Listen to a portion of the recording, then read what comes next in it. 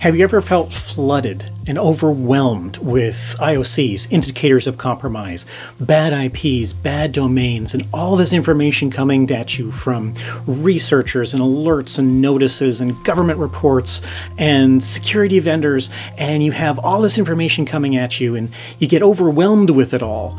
And it comes in on emails and PDFs and reports and websites and blogs and all this other information. And have you ever wished there was a simpler way to gather it all, search it all, and make it actionable for your organization? Well, so is everybody. And luckily, there is a way to make that a lot easier. And the tool I'm going to show you today is called MISP. And what makes it cool is that it's not just a threat feed. It's not just a STIX or TAXII based uh, th single threat feed coming from one source. It allows you to share that information back to the community and get that information from your peers as well. And that makes it very cool. So keep watching and I'll show you how that works. If you like this video or want to get notified when the next video comes out, hit the subscribe button and you'll get notified when the next video comes. And just like every one of my videos, in the description field down below, you will see a uh, CPE tag that you can copy and paste in your personal CPE tracker so you can get credit for watching this video uh, at the end of the year for your certifications. But remember, you can't use this video for CPEs unless you watch it all the way to the end. So what I want to do in this video is to show you a quick demo of how you can use MISP using a VM, a virtual machine, on your local machine and start to learn what's possible in MISP and what type of data it, it provides for you. And so I'm going to show you a very, very quick demo. There is a lot to MISP, and the training and the documents and the manuals for it are quite thick and quite, quite large because it's been developed by the community and there's a ton of features. And I'm not going to go through all of that. What I want to show you today is a very quick run through of how to get started, how to get the data, and so that you can start playing with it. And I'll be producing some more videos on some very basic how-tos just to get started with MISP. But I'm not going to get into the deep stuff. There's other videos and I'll have access to those in one of the playlists. And there's lots of other documents for you to consume on that. I'm not going to run through it all. That would be impossible. So I want to show you just that first little bit and get you started and get your get your feet wet. There are two main things that you can do with MISP. Uh, I want to quickly go over those.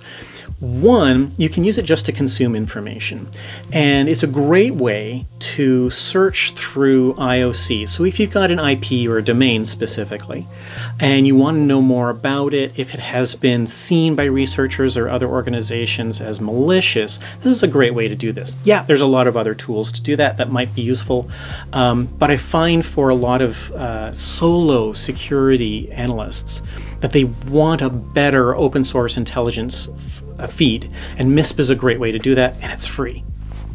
The other thing you can do with MISP, which is the next step, is push this information out to your firewalls, to your IDSs, uh, and your endpoint agents. You can use this information to automatically respond to this information. And that makes MISP an extremely powerful tool. And if you can get this information from your peers, you can respond more quickly to things that are happening in your industry, in your sphere, in your little community that you've got. Before uh, even your threat feeds might tell you, or before official sources might tell you. And that's a powerful trick.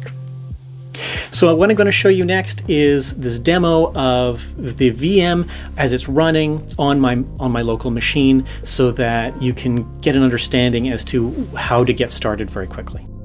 At this point, I'm going to assume that you have downloaded the virtual appliance from the main site from CIRCL.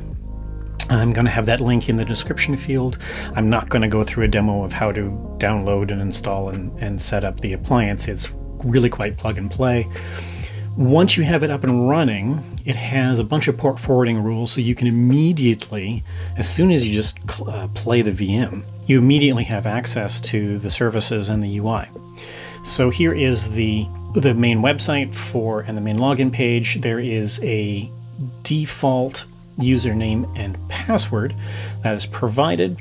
And then it asks you, of course, to change the default password and get into it right away.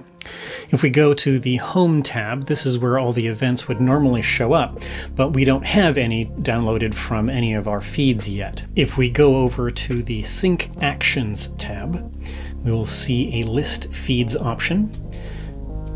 And here we see that there are two default feeds that are available that come with uh, MISP, but there is a bunch of other hidden ones that are also available. If we click the Load Default Feed metadata, it pulls in all of those other options for us. And here we see that there are uh, there are 60 some odd, 62 some odd different feeds that we can use, including the CIRCL main feed and a whole bunch of other things like malware domain lists and the PhishTank uh, phishing URLs. We want to click Enable Feeds in order to make them active. And then, once we have that, we can fetch and share all feed data. Click that button.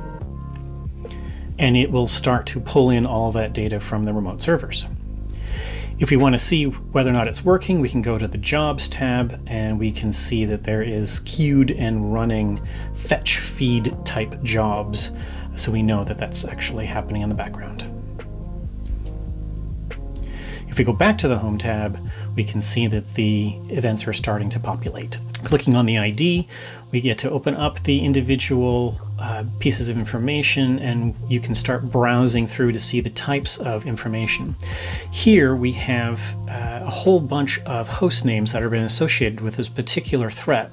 And wouldn't it be great to be able to ingest all this information, put it into our firewalls, our filters in order to either block or know whether or not things have hit our network. You also have things like uh, VirusTotal links. The VirusTotal is fairly popular with MISP, and you can see what files have been associated with this particular threat, what viruses, malware, and other types of issues. You go back to the home page, we see that there are more more things that have been added. One of the things I wanted to show you was it's not all pure threat. Some of it is uh, blog posts and information. If we click here on this ransomware, the Dharma ransomware, we can see information about it, uh, the different things that have been associated with it, the things that have been seen, um, the VirusTotal reports, uh, file reports, file hashes, uh, network information that has been associated with it. There's just a lot of rich information that is available for a lot of these things that come from uh, pure researchers. And uh, here we can see the link for the original blog post. So this is just a quick overview of how to use that uh, VM, how to use the virtual machine, how to get up and running, and what you can do with it right away. Now, as you can see, there's a lot here. There are a lot of different options, a lot of different things to, to play with, and a lot of different types of feeds and information that you can that you can play with. And I leave that to you, and I certainly can't provide a full review in, in a short demo like this, but this should get your feet wet. This should get you inspired, and you can start to do some research and investigation to see how you might be able to use this. So look out for the next videos in the series as I go through some of the more basic functions to get you up and running. And I encourage you, if this has inspired you at all, to read the uh, official documentation and the larger videos. And I have a playlist which is going to contain some more information from other people as well. So if you've enjoyed this, uh, hit the subscribe button, hit the like button, and uh, have fun with MISP, and see you in the next videos.